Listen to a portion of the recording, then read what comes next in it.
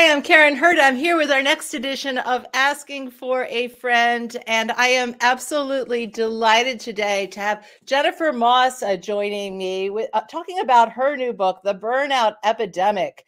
And I know this is so hot on everyone's hearts and minds right now the rise of chronic stress and how we can fix it. So, Jennifer, welcome to the show.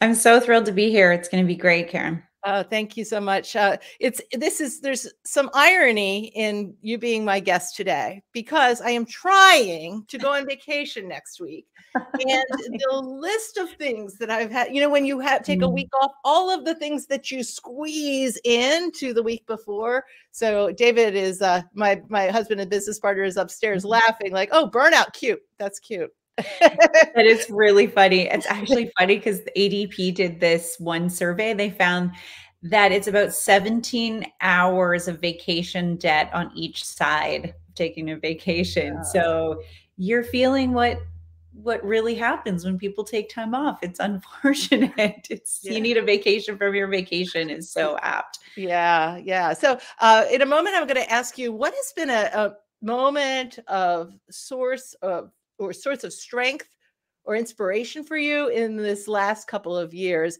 But first, I want to say, hey, Natalie, thank you so much for joining us. We hope that you will have a question uh, for Jennifer today. So, um, you know, I always I'm asking every one of my guests that uh, Jennifer, just you know, what has been something that's been really a source of inspiration or strength for you? You know, I believe in, and this is going to sound sort of like nerdy academia stuff, but I do believe in the dialectical theory of opposites. And um, there has been a lot of distraction and stress about working from home in the middle of the pandemic and having all the kids around and trying to do, you know, everything that you have to do to, to juggle that, especially as a mom and as a woman.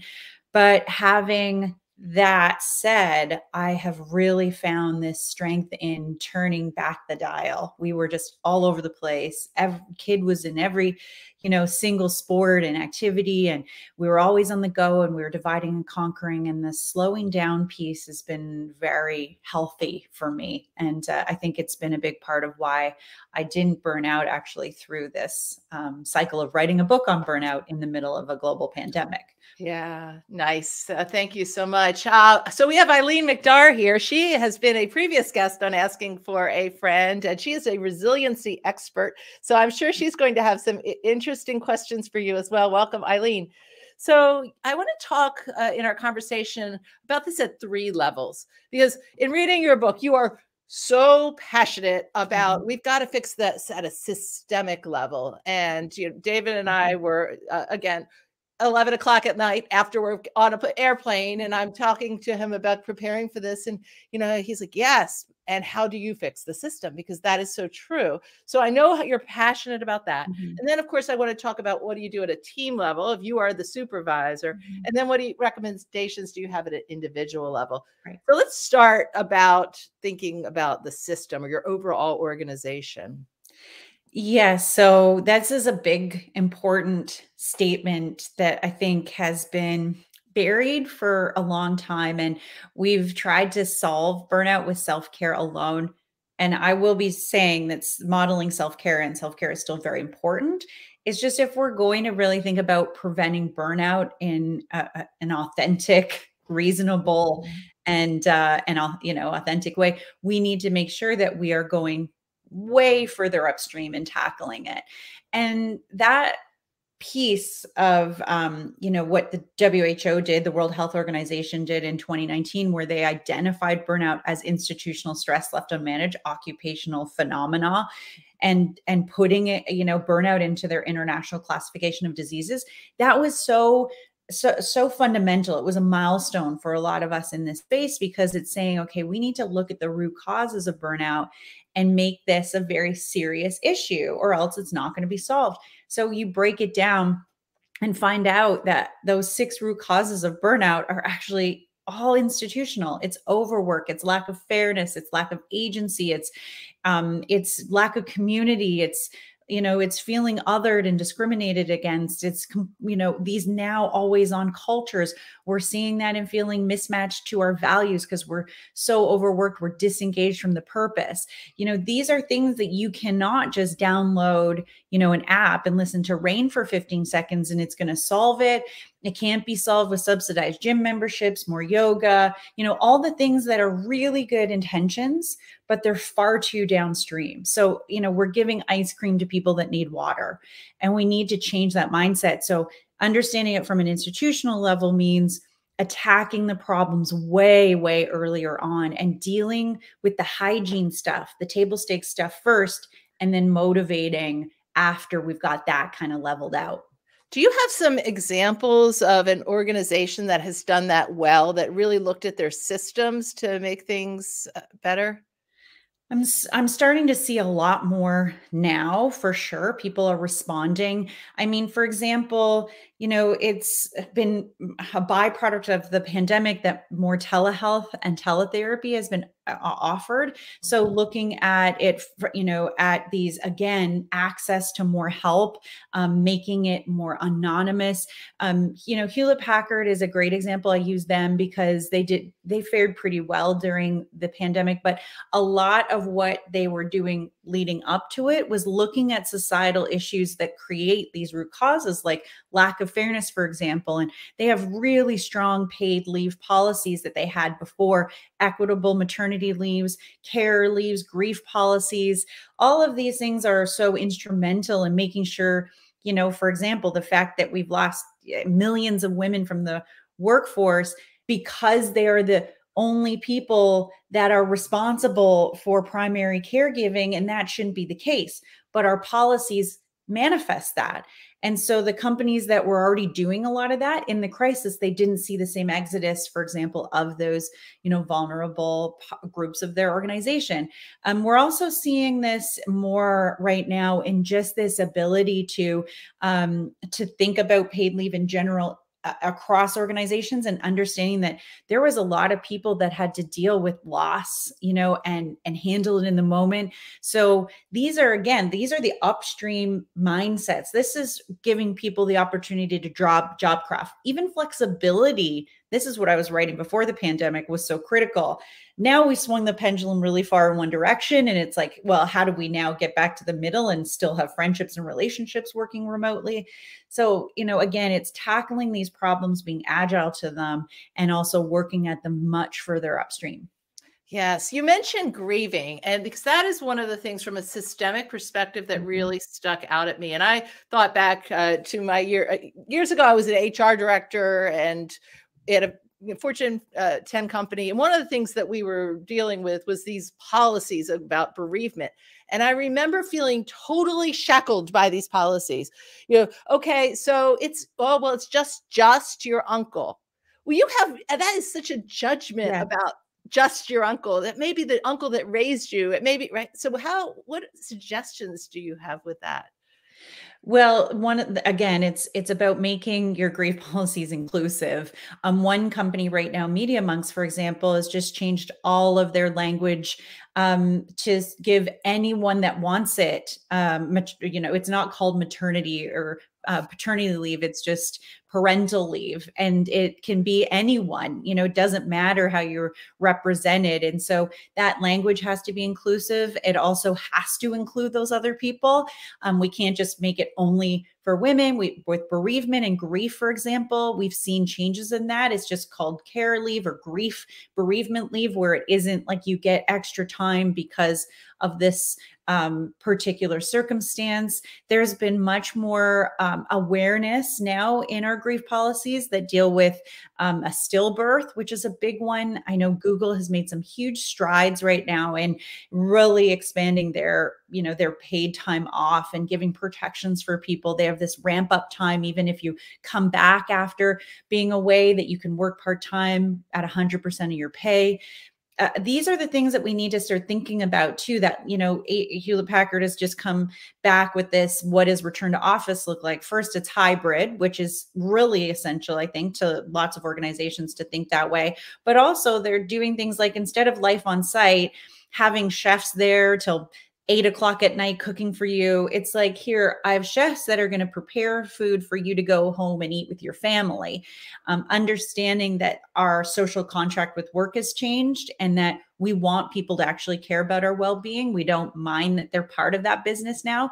And that is um, a definitely a fundamental change from the pandemic. Uh, thank you. You know, I was thinking about my my son and daughter-in-law are fostering two little babies, mm-hmm. and the company they said, you know, huh? They so they take she's taken on a two-year-old and she's got this infant, right? And the company went, huh? We don't have a foster care policy. Yep. And they said to her, what do you recommend we do?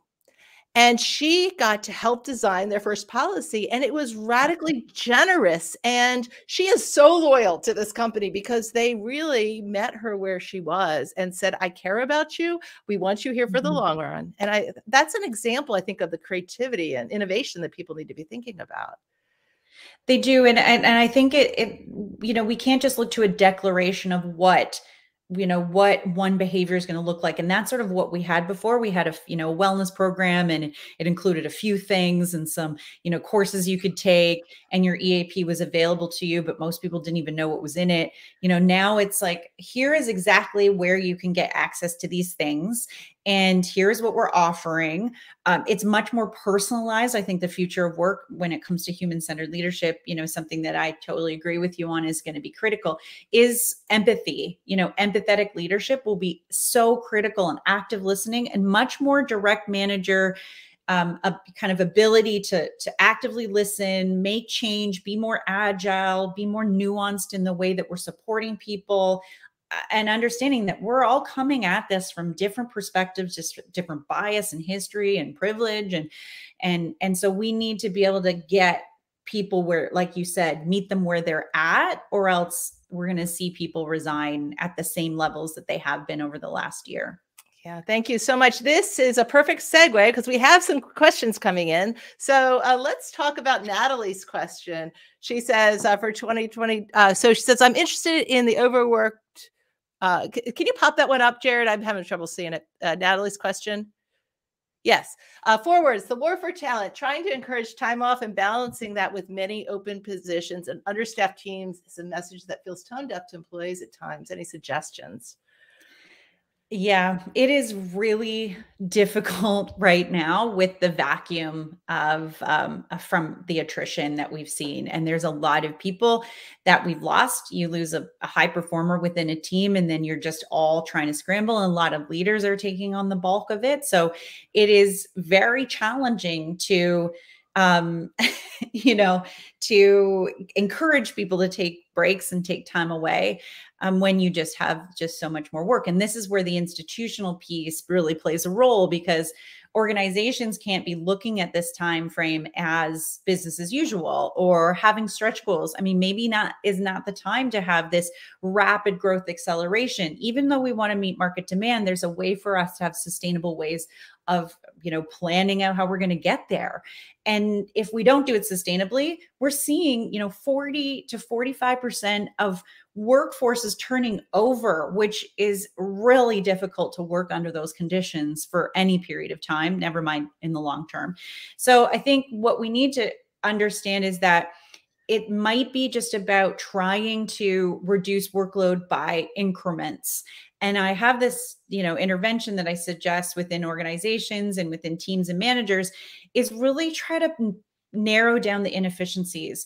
Looking at the four day work week i mean it sounds like it's impossible but when you actually look at the data people are more productive more engaged when they reduce inefficiencies. That's meeting guidelines. That's uh, analyzing how often you're checking in how often you work on urgent needs versus priority needs are you undertrained in certain areas? Can you just get more technical training to make you faster, more efficient? These are the ways that we reduce the inefficiencies. And we found this intervention, you know, after about six months, reduces workload by about 22%. percent mm hmm And then you can have a little bit more time to take those breaks and and you can only do that through lots and lots of communication amongst coworkers and their bosses Oh, thank you. Uh, I, I really agree with you. So Ryan has a good question too. Uh, so he is, um, I, am interested in the overworked burnout. What are tips frontline leaders? That's where we're headed mm-hmm. next anyway. So that's perfect. Mm-hmm. Can use with their team when working through these realities of today's jobs. You know, I, I'm telling you, it is unbelievable how much more we're working and you know and i talk about the inefficiencies but it's also the over collaboration i mean when you're when you're actually looking at how much meetings have increased just microsoft data alone is saying so imagine you can extrapolate this across google and zoom and all these others mm-hmm. but we're meeting 228% more year over year we're sending out 40.6 billion more emails we're on chat 60% more. We're sharing more uh, docs than we ever have before. And so what's happened is we've taken the way that we behaved in March 2020 because that's what we had to do. It was an emergency. But by definition, emergencies are unexpected. And we're still acting like this is unexpected. And we're not taking a moment to see, you know how do i create right to disconnect guidelines within my teams how do i make sure that i'm modeling the behavior of self-care which means like getting that space, making sure that I'm not, um, you know, like the inefficiencies piece, but also making sure that I'm not over meeting, making sure that only the people that need to be in that meeting are there. And you asking um, more openly if you have the ability to do this by saying, is it necessary for me to be in this meeting? You know what am i providing? I have a, like lots of on the go projects. I just want to make sure that if i'm there then i'm really contributing because we overloop because we don't want to put people off or think that they're not valuable. Mm-hmm. instead it, you know instead when someone doesn't invite you to a meeting say thank you. I love you for giving me my time back. Mm-hmm. Start creating that permission to be able to take that space and move away from those inefficiencies. The more that we pull back on those types of small, tangible, tactical, you know, actions, the more we'll see our time coming back to us. Oh, yes. It's interesting. We were eh, doing a leadership development program and what we were talking about meetings. And one of the guys said, Hey, can I just say something? to his peers. His peers are all in this training. Yeah. I am no longer going to attend a meeting unless there you send me an agenda and an invite list. Yeah. And everybody went, What? he yes. said, No, seriously, because I, I, am tired of eh, going to meetings that I could have set somebody on my team, uh, or, you know, it's really not the best use of my time. So I'm happy to come. Just make sure I know what's going on. Absolutely. And having, I love this because, you know, why can't we have more asynchronous meetings? They're all being recorded. You know, watch it when you can, flip through the things that you don't, you know, that don't, aren't relevant to you. And then we need to be more actionable. Like there's so many meetings that don't result into any sort of actions.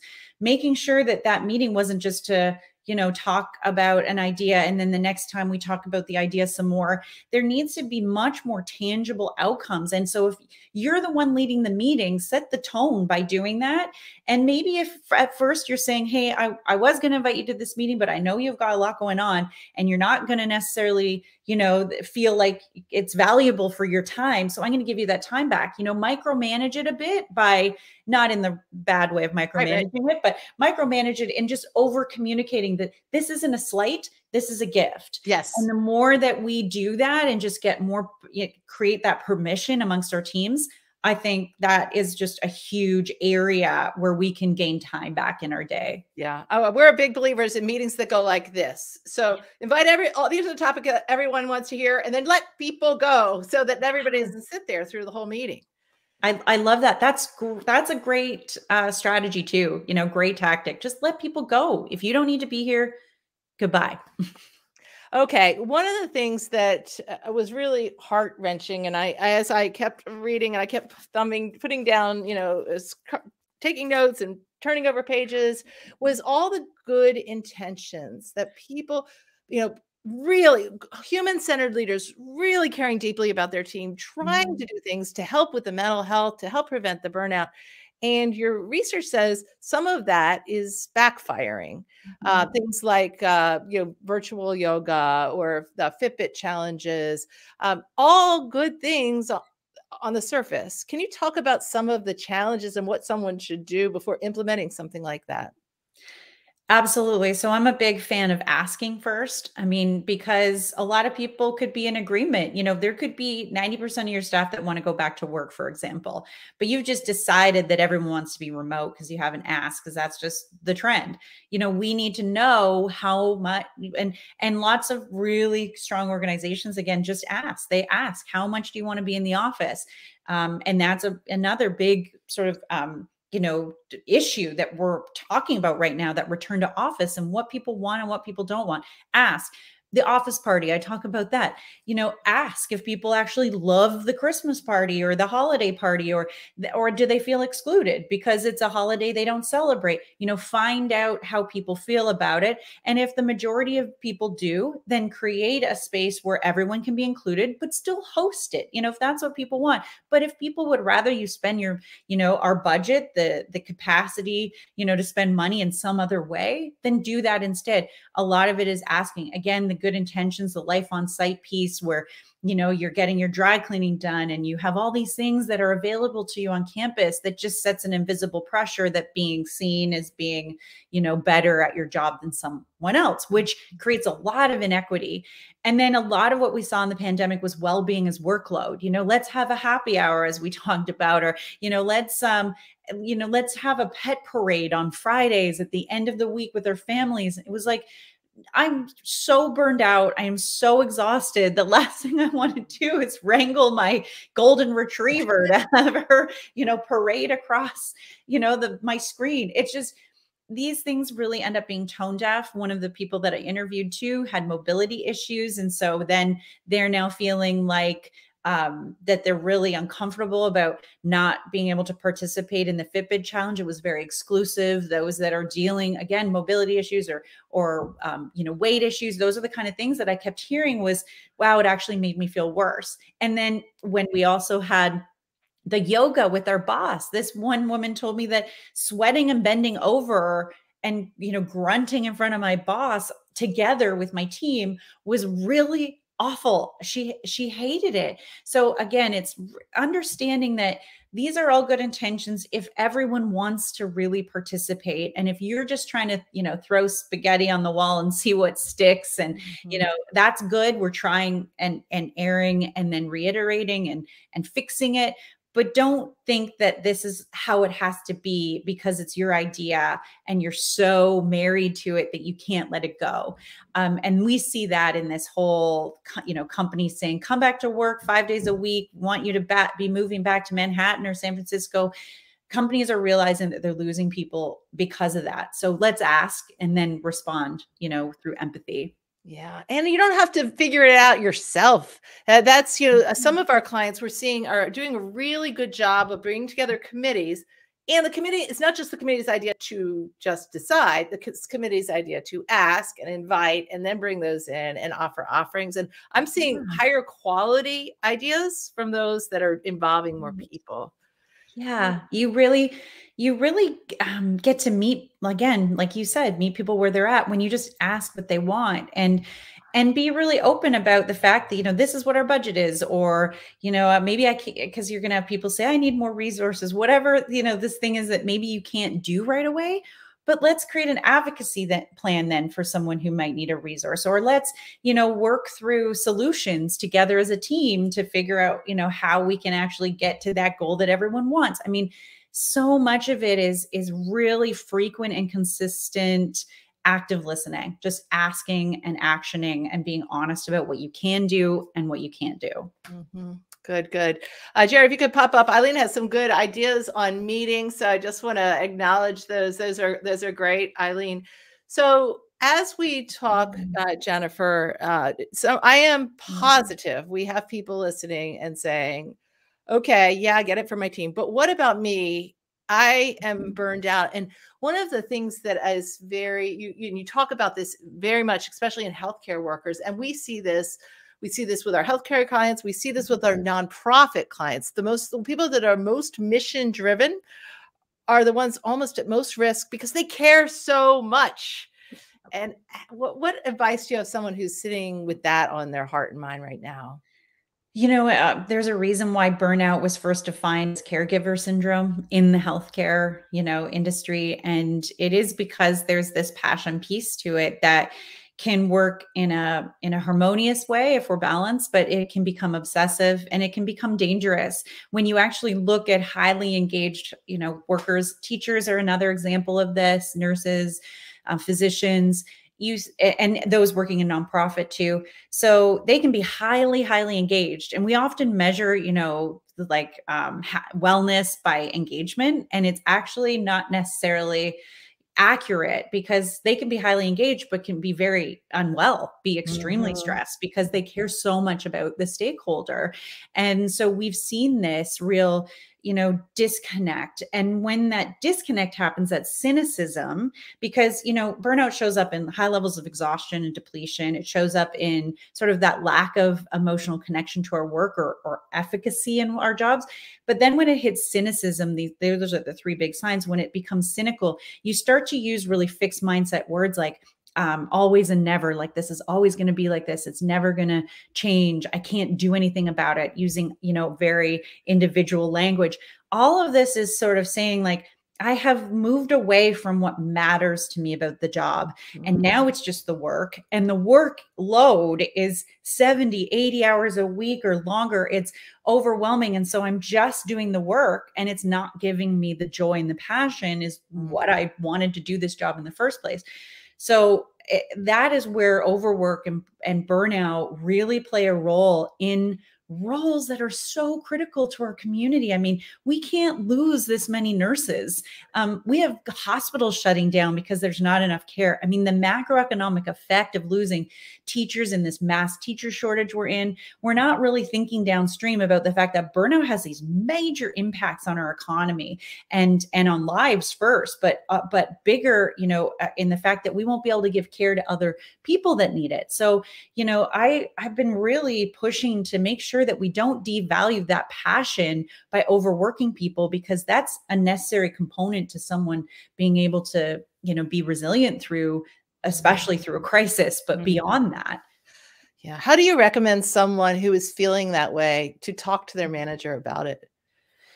Well, you know, it, it, I, you know, did the, we did some research inside the pandemic and what we found uh, was this data point, which I thought was really interesting is 67% of people, and we looked at 46 different countries. It was a global survey.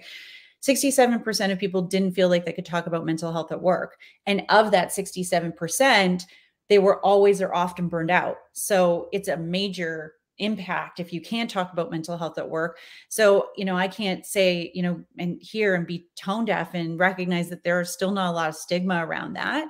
Um, and so just talking to your boss can be very difficult uh, if you're uh, feeling burned out because for a long time because there wasn't a definition around burnout it was sort of nebulous it wasn't taken seriously. You know one i think jill lepore in the new york times talked about it as a whiny millennial problem you know um, we just need re- more religion in our lives. And it was like you know, we really downgraded the kind of catastrophic impacts of it. And so now people don't feel like they can talk about burnout that's changing, I think, because mm-hmm. we just see mm-hmm. such mass burnout and right. now people are talking about it and there's prevention strategies. But we do need to sometimes, you know, be be forthcoming if we can. But if we don't feel safe in that, we need to look to those anonymous um, options like our EAPs, like our individual supports, like the teletherapy, see what's available to us. Not everyone has the privilege of accessing that either. So, what is available in our community that we can get support with? And then, if it is a last straw, you know, having that conversation with your boss, if you feel like you can to get supports is crucial or it's leaving the company if it's that toxic. Mm-hmm. Oh, thank you. All right. We have one final question and then we're going to close. So I want to bring up Katie's question here. Uh, what are effective ways to meet people where they are, returning, for example, for returning to work while also meeting company policies? Thanks, Katie. Yeah, it's important because, you know, the social contract has changed, but there's still a transactional relationship between employees and employers. And so, you know, it can't be that there's a full pendulum, you know, swing and employers don't have any rights to ask for certain you know needs or um, or behaviors from their employees. It has to be a mutually beneficial relationship. But it is about you know um I, like i said like asking what people need and being able to be the driver to that information. And and, and managers are really, you know, and I think they're playing a bigger role than ever. Um, and they have to be more, uh, you know, higher in emotional intelligence, psychological fitness. So there's more demands being placed on leaders to play these roles. But I say, you know, talk to your employees about your own role that you're not a, a, mental health professional but you're a mental health conduit and that you mm. are going to get you know really well versed and you you do this before having these conversations with your teams but get really well versed in what is available to those people on your team whether it's locally whether it's within the organization which is whether it's within programming books you know that can support people and just making sure that you're kind of over communicating about all the tools and options that people have so then they feel more comfortable having those conversations with you. And sometimes, you know, when we don't think we have those options, when we start to research what is available, there's a lot of things that we can do that are baked already baked into our policies. You know, if we want to be leaders and advocates, spend some time with the HR team. It seems like the HR team is always so separate from leadership. Let's go as a manager and talk to the HR team and say, "Hey, I really want to help prevent burnout in my team. What can I do?" I mean, they would love to hear from leaders asking them that question. They feel so siloed. So let's do more collaboration with the HR team and the wellness team inside of our organization and figure out how you can be more of an advocate for your team by giving them the data that they need to to make those really important decisions about wellness inside of our organizations. Oh, I can hear the echoes of every single HR person I've ever met going, Amen. Amen. Listen to Jennifer. All right. Uh, I'll give you an opportunity to give us one last piece of advice if you have it, and then tell us where people can learn more about you and your really good book. I think the the whole, you know, thing that I've been saying right now is um, you know, there's no right way to feel right now. And I think we're going to have really great days. We're in a healing phase a bit, but there's still a lot of uncertainty and we're tired. We're really tired. We haven't given ourselves enough compassion and grace, and we need to do more of that. I think of myself, and I had this relationship with the dishwasher that was really dysfunctional. It felt like it was gremlins just growing dishes. I couldn't unload and load the dishwasher enough times in the day. There was a lot of productivity shaming and self shaming when you're a high performing person. You want to do it all. I don't think we can actually do it all ever, but inside the pandemic, we should be saying, patting ourselves on the back every single day and saying, good job for making it through another day in a major catastrophic event, a macro stress. You did it again and leave some of that guilt behind. If any time, you know, if not now, when? It's now for us to create a little bit more self compassion and, and grace for others who are in the same boat. Oh, thank you so much. Uh, David is saying, uh, my husband, he's saying that our dishwasher has that same gremlin. so annoying. Um, all right. Well, thank you so very much, Jennifer. It's been an absolute joy to have you on the show today. Thank you so much, Karin. It was so, so delightful. Thank you.